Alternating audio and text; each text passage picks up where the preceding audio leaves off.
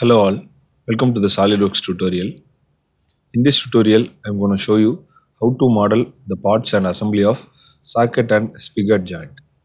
Open SolidWorks, click new and create a new part. I am starting with the first part. We are going to revolve it. So select front plane, draw the outline profile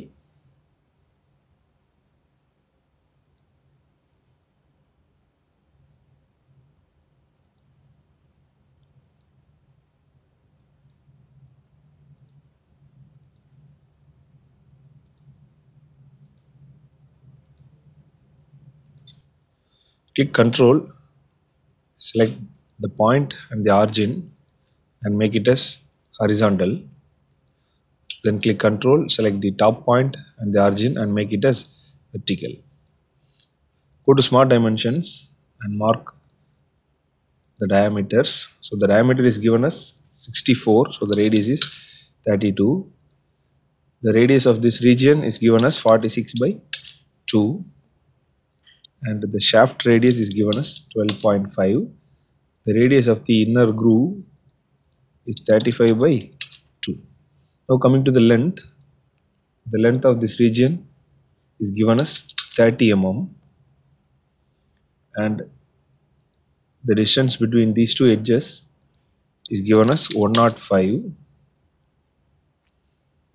and the distance between these two edges is actually indirectly given it is 28 plus 32 plus 28 the length of the shaft is not given so I am keeping a length of 40 mm. Go to features click revolve boss select the center line and click OK. Now select the front plane click sketch. Use ctrl 8 to view it in the normal direction and draw the profile of the slot.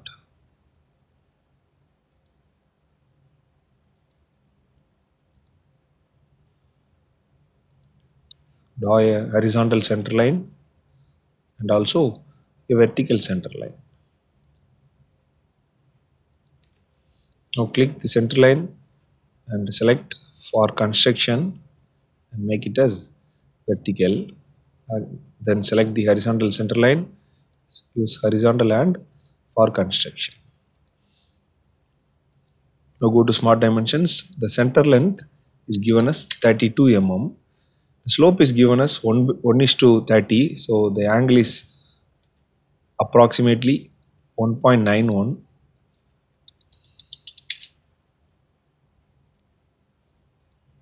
then this is at a distance of 28 mm from the origin. So I am keeping 28 mm. Go to features, click extruded cut, select mid plane and the width is 8 mm. Next I am going to fillet it. So the fillet radius is not mentioned so I am keeping a fillet radius of 2 mm and fillet the edges.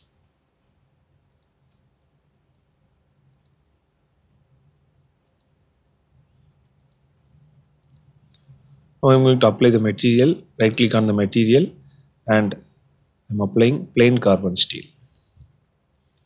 Now save this as part number 1. Click new, create a new part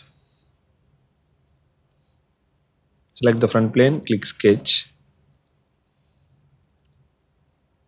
and draw the top profile.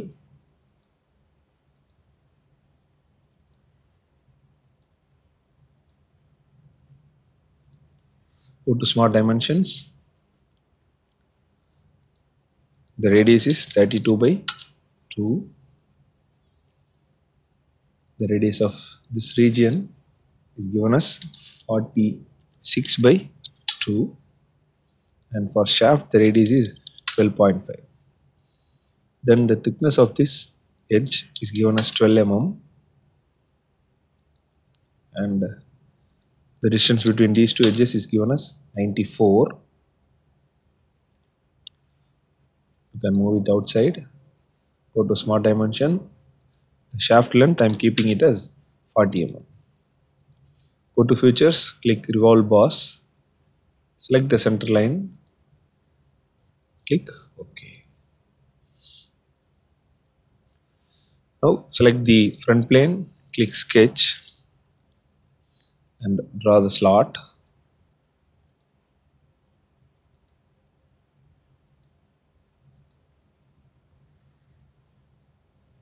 Now draw a vertical center line and a horizontal center line. Okay. Select the vertical center line click vertical and for construction. Similarly select the horizontal center line use horizontal and for construction.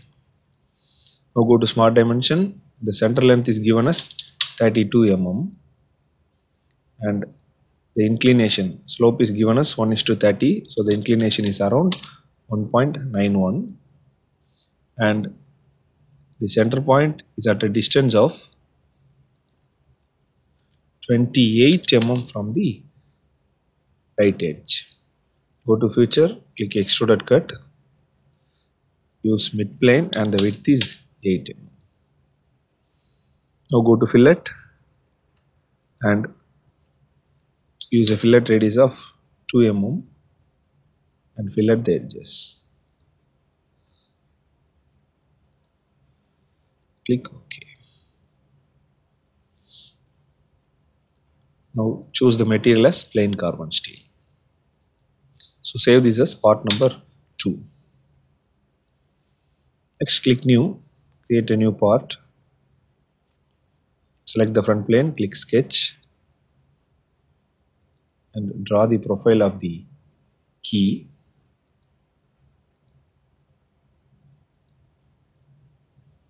so this is not actually key it's a cotter so draw a vertical center line and a horizontal center line. So select the vertical center line use vertical and for construction.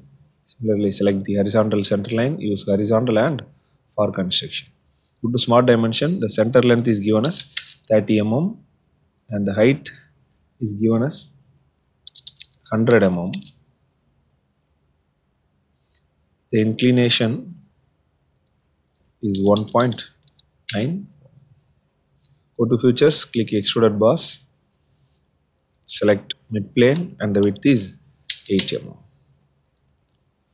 now go to fillet the fillet radius is 2 mm select the top face and the bottom face then click ok now the material is given as high carbon steel. So right click on the material choose edit material. So the high carbon steel is not directly given. So i am selecting a equivalent material. I am selecting tool steel. Okay. so save this as part number 3 now I'm going to assemble it. Click new. Create a new assembly so starting from part number 1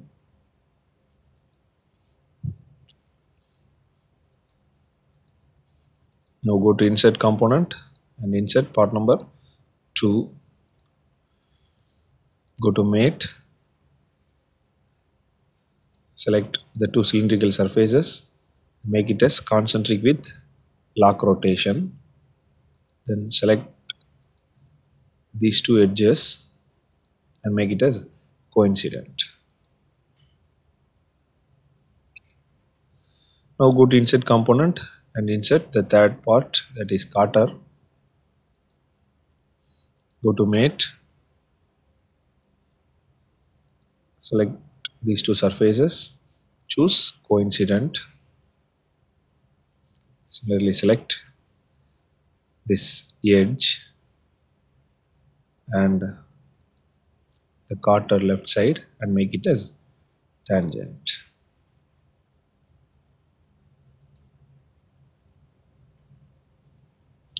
so Now we have completed the assembly. Thank you.